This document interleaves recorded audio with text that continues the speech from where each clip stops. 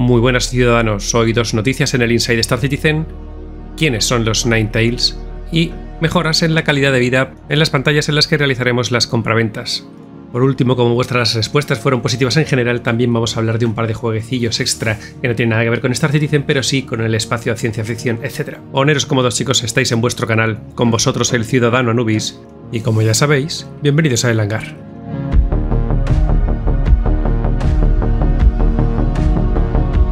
Vamos a hablar un poco de los Ninetales. Es un grupo con cierta habilidad, un grupo fuera de la ley por supuesto, que se diferencia de otros de su tipo básicamente porque no oculta su actividad. Hacen un poco de todo, contrabando, eh, muerte y asesinato, extorsiones, y bueno, el problema de todo esto es que en realidad nadie sabe o nadie tiene muy claro cuáles son sus objetivos. De hecho, algunos de sus aspectos resultan un poco confusos para quien los estudian, ya que hace no mucho asaltaron a la nave prisión que tenía encerrado a su jefe, matando de por medio muchísimos policías de Terra, para, bueno, después encontrarse a ese mismo jefe eh, con un tiro en la cabeza por allí tirado. Desde hace ya algunos años están utilizando Stanton como base de operaciones y para ser exactos, Grimex. De hecho, si pasáis por Grimex encontraréis alguna que otra señal que indica claramente eh, este es mi territorio, más te vale no liarla. Si alguno de vosotros jugadores queréis eh, entablar contacto o trabajar para este equipo, bueno, pues podéis contactar a través de Rudo. Rudo, eh, bueno, lo podréis contactar allí en Grimex mediante un holograma. Eh, Rudo se encarga básicamente de poner de, de, acuerdo ¿no? las misiones que los Ninetales ofrecen con un jugador. Esto es un nivel extra de seguridad para los dos. Si habéis estado jugando o atentos estos últimos meses, eh, ya habréis visto que hay otras maneras de tomar contacto con, esta organización. De hecho, hubo un evento dentro del juego en el que eh, Ninetales bloqueaba el acceso a algunas de las estaciones espaciales y bueno, pues podías ir tranquilamente con tu nave eh, y desbloquear todo lo que ellos habían bloqueado previamente. Matarlos, vaya, matarlos a todos. Masacre. La cuestión es que después de estos lockdown, después de estos cierres eh, a las bases, ha habido bastante silencio, la cosa ha estado bastante tranquila y bueno, eh, hay gente que se ha alegrado por ello. Sin embargo, Crusader, que ha estado sufriendo eh, directamente los problemas con Ninetales durante más tiempo que la mayoría, sabe que hay algo ahí que no anda bien. Ellos ya sospechaban que durante esta última expo pudiera ocurrir algo. Sin embargo, este silencio parece ese típico silencio que precede a una tormenta. Dicho esto, habrá que estar atentos al siguiente parche, que está a la vuelta de la esquina, y hablaremos de esto directamente.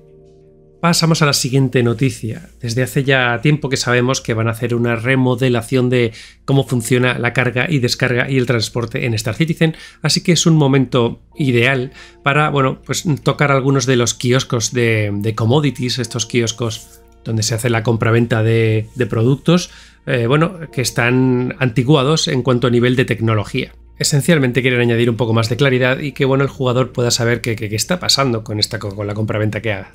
Del actual están especialmente contentos en cosas como por ejemplo que es extremadamente estable, o sea, les va muy bien. Pero por otra parte, eh, hay muchos fallos pequeños que alteran la calidad de vida del jugador, como por ejemplo no te dicen cuando falta algo, o sencillamente no te enseñan los productos que tiene tu nave porque ellos no los compran. Entonces esto puede generar una serie de dudas, ya que por ejemplo en una zona donde siempre se compra cobre, por decir un metal, eh, resulta que ahora no, y no sabes por qué, y a lo mejor es porque está lleno. Así que pensando un poco en esto que os he dicho, eh, quieren hacer el cambio como para que podamos ver cuándo está lleno, o sea, si está lleno aún así que sepamos que lo está, pero que trabajan con ese material, y lo mismo pues por ejemplo si está vacío, o si está lleno de algo, pero sencillamente no, no quieren lo que hay en tu nave o si consideran ilegal lo que hay. Esto es básicamente para tratar de evitar que creamos que hay un bug o algún problema. Por cierto, lo que hay en imagen ahora mismo es el prototipo original. Y bueno, hablando del prototipo, aquí tenemos, por ejemplo, lo que veríamos en GreenMex, ¿no? La versión hackeada eh, dentro del juego, ¿no? Y si estamos en sitios con un poco más de. donde los dueños de la zona compren producto original, bueno, pues tendremos este tipo de kiosco más terminado, más acabado, que bueno, que puede variar de una zona a otra, como ya sabéis. Y con esto, pues damas y caballeros, ha terminado el Inside Star Citizen. Muy corto, noticias un poco, bueno, de poco peso, ¿no? quiero creer que están enfrascados en cosas muy importantes ahora mismo y nos esperan algunas semanas de noticias de este tipo. Como noticia súper rápida, quiero comentar que hace poco salió el roundup del roadmap y como algo súper que quiero comentar ahora así rápido es la Anvil Crucible, que ya sabéis que es esa nave plataforma de reparaciones, ya está en producción Y ahora sí que sí, terminamos con todo lo que tiene que ver con Star Citizen y doy un salto a lo que está por venir a nivel de nuevos juegos. Y es que este ayer, ayer el día 9, tuvo lugar el evento del Summer Game Fest, que es algo así como lo que va a sustituir a la E3, eh, anuncios, eh, todo online, ya que bueno, ya el tema de COVID no se puede juntar la gente, esto y lo otro. Bueno, la cuestión, me podría pasar aquí todo el día hablando de los juegos que han salido y no es plan porque no va de esto el canal, pero sí voy a hablaros de tres, de tres de los muchos que son interesantes, ojo, al menos para mi punto de vista, pero tres que, que yo creo que van a estar bien. Y este domingo, por cierto, se publica eh, la parte de Bethesda y de Xbox, lo cual puede ser interesante para todos aquellos que estamos interesados en Starfield. Dicho esto, ah, vamos a pasar a hablar de, lo otro. Juego número uno, Routine o Rutina. Este juego que lleva ya en producción más de 10 años, se, se cree en crossover o algo, eh, resulta que es una especie de survival ambientado en una base lunar en la cual ha desaparecido todo el mundo y vas tú a ver qué ha pasado. Y hay un mal rollo que te flipas. Tiene toda la pinta que es tipo Alien Isolation, que tienes que estar todo el rato con mucho cuidado y escondiéndote de todo, porque a la mínima, pues eh, los, malos, que aparentemente son esos robots, pues, pues, pues, bueno, pues tú sabes lo que pasan con estas cosas.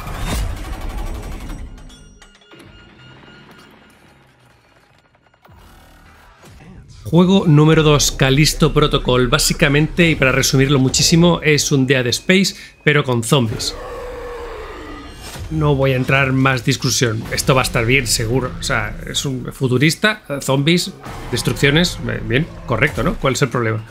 De base me parece que me llamará un poco más de atención, ¿no? Que el juego anterior, porque estar todo el rato escondiéndose me estresa, pero ir con una escopeta matando zombies, eso me motiva. Entonces, bueno, cuestión de gustos. Siguiente juego.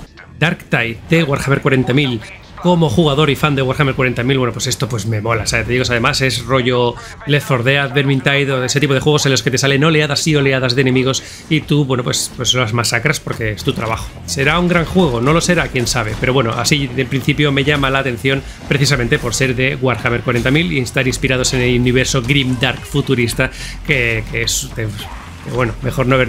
Menos mal que no estamos ahí. Bueno, y dicho esto, no quiero enrollarme con, juegos que no son Citizen. Hay, hay más juegos interesantes. Eh, Flashback es un juego de hace muchísimos años, pues se van a sacar una segunda parte.